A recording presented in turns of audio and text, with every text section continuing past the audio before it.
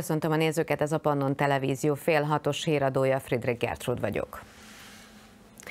Október 17-e van a Hedvigek ünneplik névnapjukat. Műsorunk elején érkezzenek a nap kiemelt hírei röviden. 300 kilométernyi új útszakasz épül Szerbiában kínai cégek közreműködésével.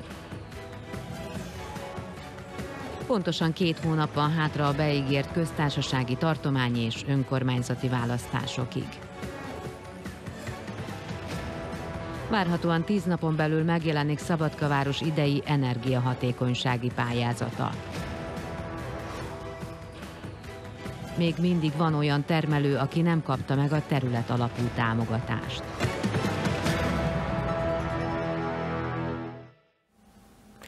300 kilométernyi új útszakasz épül Szerbiában kínai cégek közreműködésével. Egyebek mellett erről írt alá szerződést Pekingben a szerb és a kínai delegáció. A befektetés összértéke mintegy 4 milliárd euró. Emellett kínai gyors vonatok vásárlásáról is megegyeztek a felek. Alexander Vucic szerb és Xi Jinping kínai elnök jelenlétében pedig a két ország közötti szabadkereskedelmi egyezményt is aláírták az illetékes miniszterek.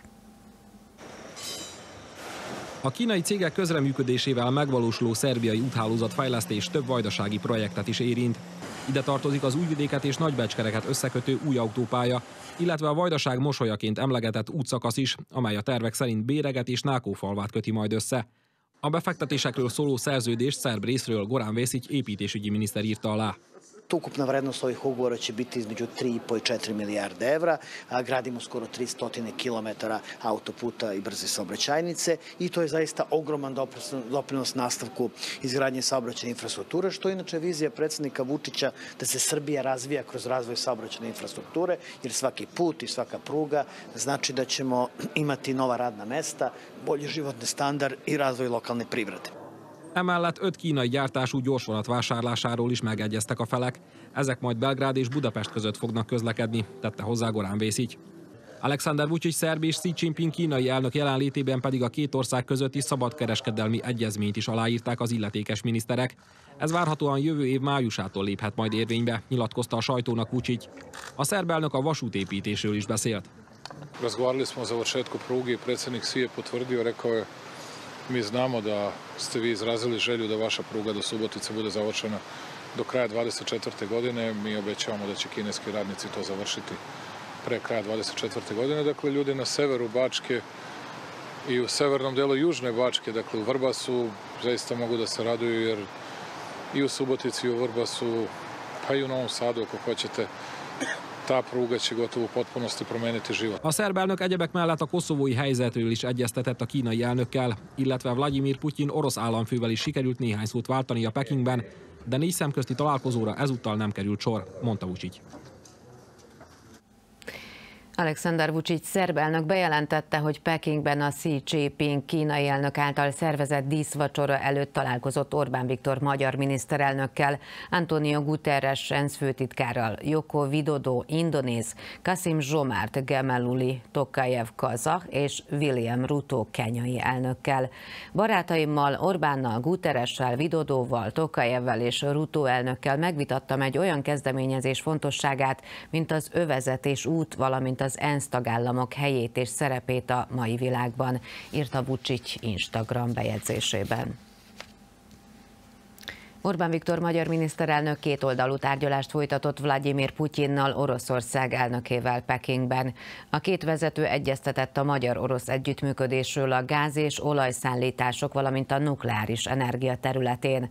Orbán Viktor a megbeszélésen a béke fontosságát hangsúlyozta.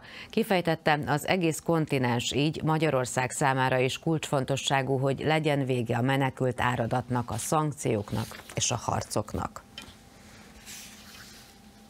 Pontosan két hónap van hátra a beígért köztársasági tartományi és önkormányzati választásokig. A közvéleménykutatók már lázasan dolgoznak és közlik felméréseiket a kormánypártok és az ellenzékiek állásáról. A pártok pedig tárgyalnak és lehetséges koalíciókról egyeztetnek. A választásokat még ki sem írták, a kampány viszont már elkezdődött. A választásokról és a különböző lehetséges időpontjairól már hónapok óta hallani, a bizonytalanságnak azonban Alexander Vucic köztársasági elnök vetett véget, aki bejelentette november másodika előtt mindenképpen kírja a választásokat, amelyet december 17-én tartanak meg. A választások kiírását az utóbbi hónapokban a leghangosabban a baloldali ellenzék, a Demokrata Párt, a Szabadság és Igazságosság pártja és a Zöld baloldali front követelte, céljuk pedig a jelenlegi hatalom leváltása. Zahtevamo raspisivanje ovih izbora zato što se nalazimo u dubokoj društvenoj i ekonomskoj i političkoj krizi i zato što nema snage niti volje da se iz te krize izađe od strane ove vlasti. A kormányzó szerb haladó párt vezetői pedig hetek óta arról beszélnek, hogy bármikor készen állnak a megmérettetésre, nem félnek semmilyen ellenzéki összefogástól. Trudim se da svaki svoj slobodni trenutak nakon državnih obaveza koristim da razgovaram sa ljudima i sa članovima stranke, simpatizerima, ali takođe sa ljudima koji nisu u Srpskoj naprednoj stranci, da, da govorimo o onome što su jedine stvari zbog kojih se mi bavimo politikom, a to su rezultati i to su konkretni planovi e, za budućnost. Pa sve ostalo je za mene ne tako važno. A tervek és eredmények mellett pedig a lehetséges koalíció is fontos kérdés lehet. Az utóbbi 13 évben nem nagyon változott a kormánypártok listája, és várhatóan az SHP mellett továbbra is a szerbiai szocialista párt lesz a legfőbb erő az ország vezetésében. Ivica Dacsitja, a szocialisták vezetője is dicsérte az utóbbi több mint tíz év eredményeit, és annak a meggyőződésének adott hangot, hogy folytatódik az együttműködés az SHP és az SSP között. A közvéleménykutatások szerint egyébként még mindig a szerb haladó párt a legerősebb párt Szerbiában. Támogatottsága 44,5 százalékos. A Faktor Plus felmérése szerint a második legerősebb tömörülés 11 százalékkal. A szélső jobboldali összefogás, amelynek gerincét a Dvéri és a fogadalomtevők szerb pártja adja, és csak a harmadik helyre kerülne a kisebbik kormánypárt, a szerbiai szocialista párt. A mostani felmérések szerint a nem kisebbségi pártok közül még a Szabadság és Igazságosság pártja, a szerbiai népi mozgalom és a remény mozgalom kerülne be a parlamentbe.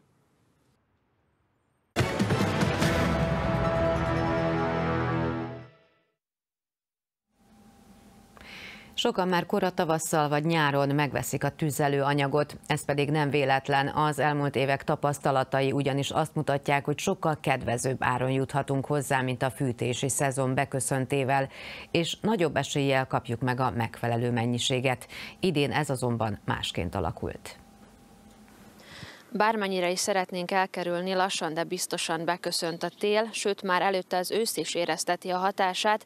Ma reggel 8 fél 9 körül mindössze 1-2 fokot mutatott a hőmérő, Hűvösek tehát a reggelek, és az éjszakák is, sőt még a nappalok is, és a hőmérséklet sem szökik az egekbe, ekkor sem. Az elmúlt napokban bőven érezni lehetett ezt, fújt a szél, és még az eső is esett, amikor pedig kisütött a nap, akkor sem volt túlságosan meleg tehát hűvös van, az emberek így rákényszerülnek arra, hogy begyújtsanak, ha nem szeretnének fagyoskodni.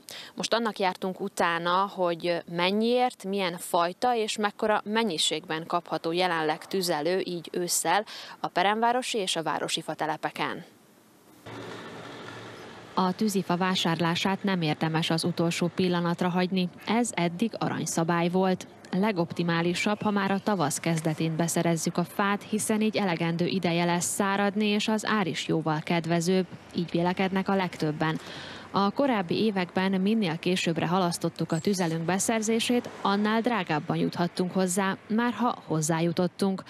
Több hetes várólistára is kerülhettünk, és mire megérkezett a fa vagy a szén, megugrott az ár. Idén változás történt, mondják a fatelep tulajdonosok. Évekkel visszanézve általában az augusztus-szeptemberre sokan vásárolnak, most az kimaradt. Tehát erre vagy arra gondolunk, hogy sokan átálltak a gázra, illetve áramra, mivel tavaly egész 12 ezer dinárt is elérte a faj, és ez egy logikus döntés lenne egy olyan pillanatban, hogy próbáljunk ki mást, ugye? De viszont két hete körülbelül elkezd, elkezdték vásárolni nagy mennyiségben, Úgyhogy úgy néz ki az egész, hogy halazgatták az emberek valami miatt. Talán reménykedtek, hogy olcsóbb lesz, mivel tavasz óta az ár nem változott. A fa minősége jobb, mint volt, mondják az eladók. Az egyik csantavéri fatelep tulajdonos tapasztalatai szerint az emberek többsége fát vásárol. Jó hír, hogy az árak csökkentek az elmúlt évhez képest, 2021-hez viszonyítva pedig 1000 dinárral kell többet fizetnünk a tüzelőért. Jönnek még az emberek, hogy sokan még nem vették meg különben. És az ár az a tavalyhoz képest változott-e valamit? Változott, lefelé ment.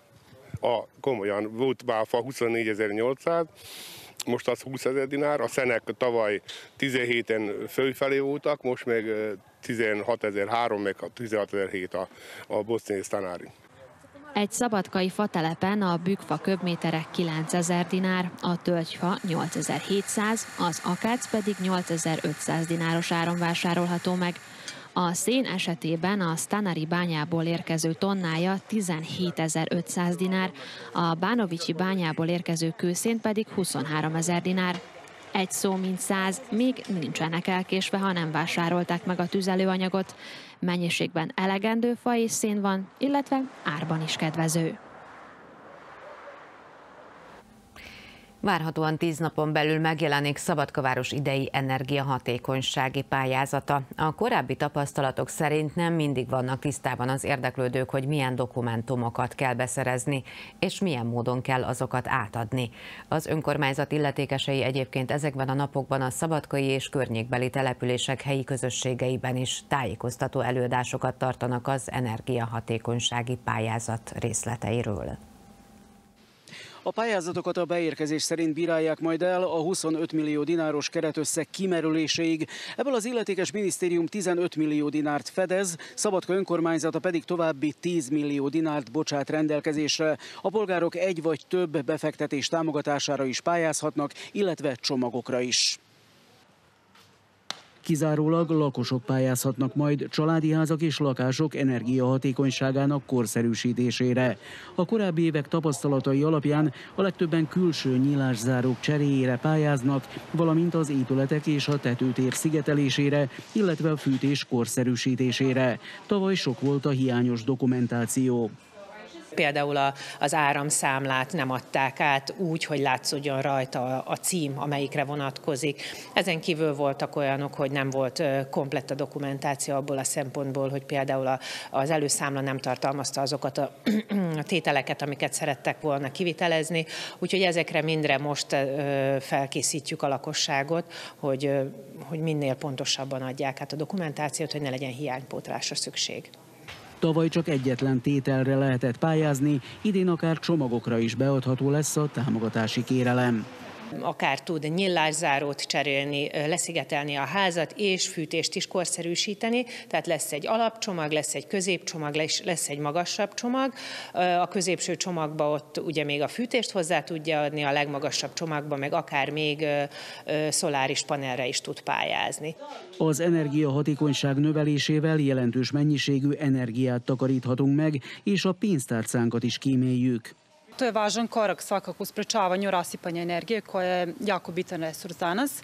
E, zamenom dotrele drvene stolarije za energetski efikasnu PVC stolariju građani će istovremeno smanjiti troškove grejanja zimi, smanjiti troškove hlađenja leti i povećati svoj životni komfor e, u stambenom objektu gde borave.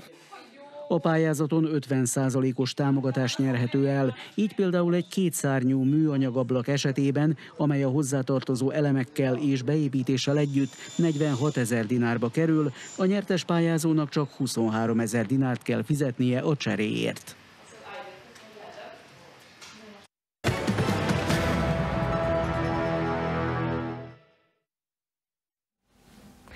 Hétfőn két svéd állampolgárt lőttek re Brüsszelben, a rendőrség ma reggelre megtalálta az elkövetőt. Tegnap este hajtóvadászatot indított a belga rendőrség az ellen a férfi ellen, aki este 7 óra körül két embert megölt, egyet pedig megsebesített a belga fővárosban. A támadás idején mindkét áldozat svéd futballmezt viselt. Az eset miatt a belga-svéd labdarúgó EB selejtezőt is félbeszakították a szünetben. A brüsszeli lövöldözés gyanúsítottját a rendőrség rendőrség a hírek szerint egy kávézóban lőtte le, és azt a fegyvert is megtalálták, amit a férfi használhatott. Nézzük, mi lesz még a híradóban. Jól termett az idén a dohány, kereslet is van rá, azonban egyre kevesebben foglalkoznak vele. Ma este Litvánia, Magyarország és Szerbia Montenegró meccs lesz a labdarúgó EB selejtező G csoportjában.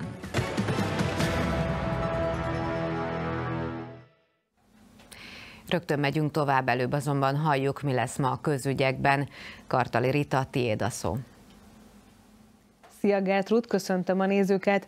A Ribnikár iskola tömeggyilkosa büntetlen marad, a szülők ellen azonban vádat emeltek. Utána jártunk a jogi lehetőségeknek. Foglalkozunk azzal is, hogy egyre több fiatal használja felelőtlenül az esemény utáni tablettát, és idén is megszervezik a Kárpát-medencei diákok művészeti találkozóját. Tartsanak velünk! Köszönjük szépen!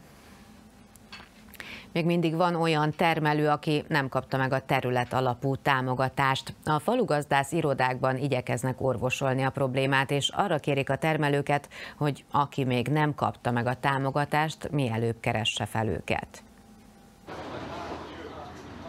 Terepen és a Magyar Kanizsai Városházán is fogadják az ügyfeleket a falugazdászok. Vannak, akik már a lejárt bérleti szerződések újításán dolgoznak, viszont még mindig van olyan termelő, aki nem kapta meg a terület alapú támogatást. Az állam tavasszal 9000 dináros hektáronkénti támogatási összeget jelentett be, majd ezt később megduplázta. A termelőknek már akkor jól jött volna az összeg, viszont van olyan gazda, aki még most az őszi munkálatok előtt sem kapta meg a pénzt. Részbe kerültek kifizetésre a BGR támogatások, nem tudjuk milyen okból kifolyólag egyes termelők megkaptak úgymond mindent, amire joguk volt, meg amit igényeltek, másik termelők meg, meg kimaradtak, vagyis hát még idáig nem, még mindig nem kapták meg a, a BGR támogatásokat. Szeptember óta pedig a falugazdászok is igyekeznek segíteni azoknak a gazdáknak, akik nem kapták meg a pénzt. Számos probléma merült fel, ugyanis az online rendszer az eddig megszokott eljárástól eltérő módon fogadta el a feltöltést. Emellett hátráltatta a kifizetést az is, ha a termelő az egész parcella területére igényelte a támogatást, miközben egy része nem művelhető. De gondot okozott az is, ha a gazdaság felújítását követően a kataszterben változott a tulajdonviszony. Sajnos a rendszer az esetek többségében nem jelzett és nem küldött hibaüzenetet. A legtöbb fennakadás az osztott parcellákkal volt, ahol az adott parcellán kettő tulajdonos van, és páratlan négyzetméter a nagysága, nem lehet pontosan ugye elfelezni, ezért egy négyzetméterrel kevesebb területet kell összességében beírni, ami ellentétes az éveken átbevett szokással. Megtörtént az is, hogy ugyanazt a parcellát a rendszer bevitte a tulajdonos gazdaságába is, és a, a kataszterben szereplő személyi szám alapján, és a bérlő gazdaságába is a bérleti szerződés alapján. Az pedig, hogy a kifizetett terület alapú támogatás mire is elég, nem bonyolult kérdés, mondta Balázs Tibor, Ilona falmi termelő, aki padlásról vett és istálótrágyát használ a drága műtrágya helyett. Tudjuk, hogy ilyen nafta, ilyen naftárak mellett, hogy minden nap emelkedik, meg a repro anyag is, most nem tudom, hogy hogy áll, mert nem nagyon szoktuk használni a műtrágyákat. Szerintem semmi se. Tehát jónak tűnik, az nem arról van szó, majd a 140-50 euró per hold, de nagyon kevés ez a mai helyzetben. Annak ellenére, hogy sokan még várják a támogatás kifizetését, Jelena Tanaszkovics mezőgazdasági miniszter már bejelentette, hogy a 2024-es évre 105 milliárd dináros agrárköltségvetést irányoznak elő. A pénzből pedig fedezni fogják az összes tervezett támogatást, tette hozzá Tanaszkovics. Jól termett az idén a dohány, kereslet is van rá. A japán GTI dohánygyár jó voltából. Magyarkanizsa községben azonban ennek ellenére is egyre kevesebben foglalkoznak a növénytermesztésével. Ennek oka, hogy az öntözés elengedhetetlen része a dohánytermesztésnek, valamint a palánták gondozása sem egyszerű feladat. Már szépen sorjáznak a felfűzött dohánylevelek a kispiaci almási családnál, akik kisebb-nagyobb megszakításokkal már közel 30 éve foglalkoznak dohánytermesztéssel. Jelenleg a szárítási folyamat zajlik náluk fóliába szárítsuk, fóliába szárítsuk, le van takarva fekete nejlonna, hát hogyha minden jól megy, akkor egy tíz nap, két hét alatt megvan. De most már hűvösebbek az idők, ilyenkor már kevesebb a nap, ilyenkor már több idők neki, hogy száradjon. A család parcelláján szépen tudott fejlődni a növény, de csak locsolással. Szépen tudtak fejlődni, olyan úgy, hogy öntöztük, öntözés, mert egyenletlen volt a csapadék mennyisége, úgyhogy de akik, akik nem bírtak öntözni, azoknak kicsikét gyengébb lett a dohánynak a hozama. Mekkora hozam jut holdra, hektárra, hogyan számolják ezt? Hát most nem tudjuk ezt még megmondani, hogy mennyi lesz, de most átlagban az a két tonnát mm, számolnak hektárjára, hogy annyi körülbelül, hogy teremje. A dohány felvásárlási ára az idén kielégítőnek mondható. Az első osztályú dohány kilónkénti ára várhatóan 400-500 dinár körül mozog majd. Október a mellrák elleni küzdelem hónapja. A nőknél ez a leggyakoribb daganatos betegség. Szerbiában évente mintegy 4600 újabb esetet fedeznek fel. Az újonnan diagnosztizált betegeknek mintegy 10-15 ánál már áttétes a betegség, ezért nagyon fontos a korai felismerés és a szűrővizsgálatokon való részvétel. Hangsúlyozta dr. Bagi Teodóra, a Szabadkai Közkórház onkológusa azon a sajtótájékoztatón, amelyet az egymásért Egyesület képviselőivel együtt tartottak a Szabadkai Városházán. Az Egyesület pénteken, október 20-án emléksétát tart az Egymásért Egyesület alapítója Tanya Antics emlékére, és a meldaganat elleni küzdelem hónapja jegyében. Az érdeklődőket a Szabadságtérre várják 16 óra 30 perckor, ahonnan majd elindul a séta a Sugárúton keresztül a sportcsarnokig. Ha egy életmódváltással meg tudjuk őrizni azt a minőségi életünket, ami példát tud mutatni, hogy élni betegséggel is lehet megfelelő kezelés alatt, akkor megtettük a dolgunkat. Ezt tesszük, és magunknak is olyan megfelelő életmódvitelt tudunk beállítani, ami folyamatos mozgást és folyamatos felépülést tud nekünk adni. Ezért szeretnénk ezen a napon, 20-án mindenről esetleg a megmozduláson belül is beszélgetni, invitáljuk az érdeklődőket, és mindenkit, aki úgy érzi, hogy, hogy ezt az üzenetet ő is tovább tudja adni, mert nem csak magamért teszem, hanem a szeretteimért is,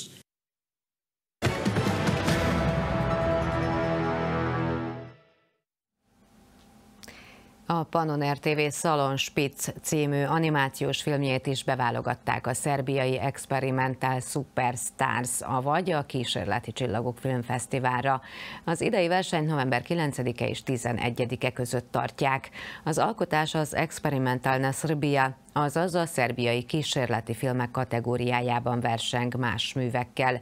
A rövid film, amelyet mások mellett Miskolci Roland, Agárdi Gábor, Varga Olga és Nagy Gergely jegyeznek, korábban filmetűt kategóriában második lett a magyarországi 17. Göcsej filmszemlén, illetve fesztivál igazgatói fődíjat kapott a rövidfilmek Párizsi Fesztiválján. A munkát színek, hangok és képek erős világa jellemzi, és külön érdekessége, hogy a legendás magyar színművész színművész Koltai Róbert adta hozzá a hangját. Az animációhoz használt illusztrációk pedig a néhai magyar festőművész Ruzicskai György munkái, aki Párizsban is alkotott. Az ABCNT képzőművészeti szakkör Szabadkán tartotta évzáró kiállítását. A tárlaton Palics és Ludas volt a kiemelt téma. Fél év múlva negyed évszázados lesz az ABCNT képzőművészeti szakkör. Tagjai kedvtelésből csatlakoztak a csoporthoz, és Kiki saját tehetsége alapján fejlődött, viszont az alapokat mindenki megtanulta. Török István a csoport vezetője azt mondja, látványosan haladnak a tagok, de az igazi sikerélmény az, ha a csoport témától függetlenül belső indítatásból festenek le egy-egy képet. Mindegyik kép megjelent előttem, behozták, ott csinálták, ez általában mind, mind úgy lett megalkotva, hogy nem otthon és nem tudok róla. Úgyhogy akkor végignéztem, hát jó, es, jó eső érzés volt, hogy, hogy ilyen, ilyen kép tárult elém, elém ami, ami itt látható. Szabó Eszter magyar tanár, 5 éve tagja a csoportnak, általában tájképeket fest, ez az első megfestett épülete. Úgy érzem, hogy elég sokat fejlődtem, köszönve az Istvánnak, mert eh, most már tudok otthon dolgozni, és csak javítani viszem el a dolgokat. Úgyhogy a mi fotóról dolgozunk. A csoportvezető azt mondja, hogy azoknak is szüksége van képzőművészeti alapismeretekre, akik hobbiból festenek, és többnyire autodidakta módon képzik magukat. A Szabadkai Szabad Egyetemen a mintegy 50 alkotást a hó végéig lehet megtekinteni. Könnyű zenei estet szerveztek a Belgrádi Kollégium Hungarikumban. A Magyar Kulturális Központban a Balanyi Szilárd zongorista vezette Szilárd Piano projekt adott koncertet.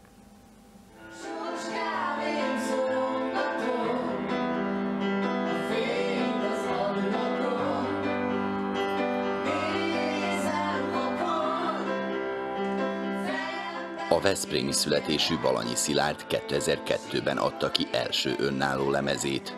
Zongoristaként mások mellett együtt dolgozott a Quimby és a Heaven Street 7 zenekarokkal is. Belgrádban Galambos Dorina és Kis Flóra vokalistákkal adott elő szerzeményeket. Én próbáltam úgy gondolkodni, hogy nyilván minél több angol nyelvűt, mert van egy pár, betenni, hogyha esetleg valaki nem beszél magyarul, akkor neki is mondjon valamit ez a dolog. De szerintem azt gondolom, hogy a zene az eleve közvetít valami érzés világot, valami érzelmet. Mindenképpen fog érezni az, aki hallgatja. És reményeim szerint valahol meg tudtuk érinteni az embereket. Igazából nekem az a... Én akkor már boldog vagyok, hogy azt látom az embereken, hogy élvezik.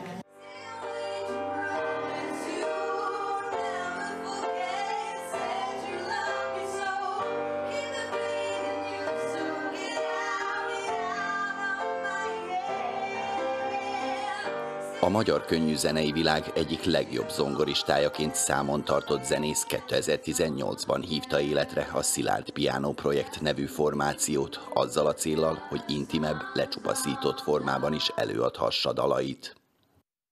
Azt szerettük volna bemutatni a belgrádi közönségnek, illetve minden érdeklődőnek, hogy a magyar korműzene, a kortes könnyűzene milyen sokszínű, milyen tehetségek vannak benne, és alapvetően szerettük volna, ha a mi kis zongoránkat itt munkára fogják, és egy olyan könnyű esti koncertre hívjuk meg a közönséget, amit szerintem mindenki kortalanul élvezhet.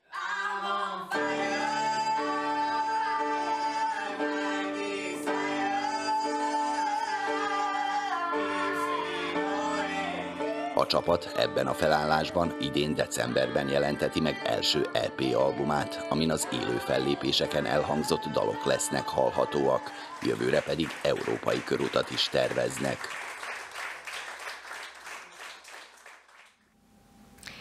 Félelemből empátia címmel szerveztek filmvetítést és vitát a Szabadkai Magyar Tannyelvű Tanítóképzőkaron.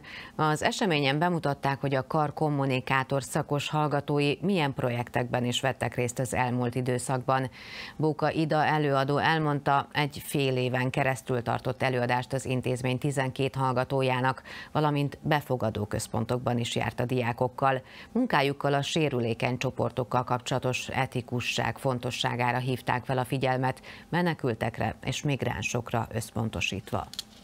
Hogyha már empátiáról beszélünk, mert hogy a mai téma az, akkor én azt szeretném kiemelni, hogy nem, nem csak az az empátia, amikor mi megértjük ezeket az embereket, hogy miért vonulnak erre, és hogy lehet, hogy nem mind bűnöző, hanem az is empátia, hogy megértsük, hogy ezek a fiatalok hogy alkotnak véleményt, és hogy a helyi lakosság is hogy alkot véleményt. Tehát empátiát kimutatni, rátapintani más érzésvilágára az nem csak a migránsok iránt, hanem mások iránt is ugyanúgy érvényes.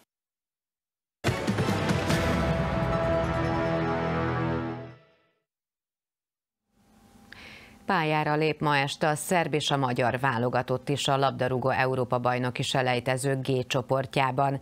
A szerbek Montenegró együttesét fogadják, még a magyarok Vilniusba a litván válogatotthoz látogatnak. Mindkét meccs 20 óra 45 perckor kezdődik. A részletek Dóró Alentől jönnek. Sorsdöntő mérkőzést játszik ma este a szerb, illetve a magyar labdarúgó válogatott az EB selejtezőkben. A magyarok Litvániában vendég szerepelnek, a szerbek pedig Belgrádban látják vendégül Montenegró válogatottját. Amennyiben a magyarok ma este nyerni tudnak, akkor biztosan ott lesznek a 2024-es labdarúgó Európa bajnokságon. Ez pedig még egy esetleges döntetlen, sőt még egy vereség mellett is összejöhet. Ez azonban az szükséges, hogy a másik mérkőzésen a szerbek ne szerezzenek több pontot, mint ma este a magyarok.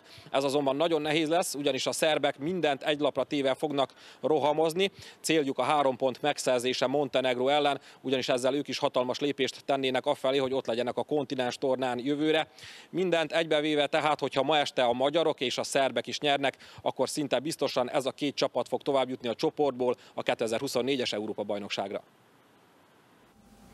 Az UEFA illetékes bizottsága megbüntette a TSC-t és a Cervena Zvezda csapatát is. A TSC-nek a Freiburg ellen hazai pályán esedékes mérkőzésen ezer helyet üresen kell hagynia a stadionban, és tízezer eurós büntetést kell fizetnie. Sem a szerb bajnok csapat, sem pedig a TSC esetében nem tértek ki a szabálytalanság részleteire, csak annyi szerepel az indoklásban, hogy a Crvena Zvezda esetében a Young Boys, a TSC esetében pedig az olimpiákhoz elleni mérkőzésen a stadionban tanúsított diszkriminatív magatartás a büntetés oka. A topolyai csapat egyébként október 26-án fogadja Freiburg csapatát az Európa Liga csoport küzdelmeinek harmadik fordulójában. És eddig tartott a híradó, nézzük meg voltak kiemelt témáink. 300 kilométernyi új útszakasz épül Szerbiában kínai cégek közreműködésével. Pontosan két hónap van hátra a beígért köztársasági tartományi és önkormányzati választásokig. Várhatóan tíz napon belül megjelenik Szabadkaváros idei energiahatékonysági pályázata. Még mindig van olyan termelő, aki nem kapta meg a terület alapú támogatást.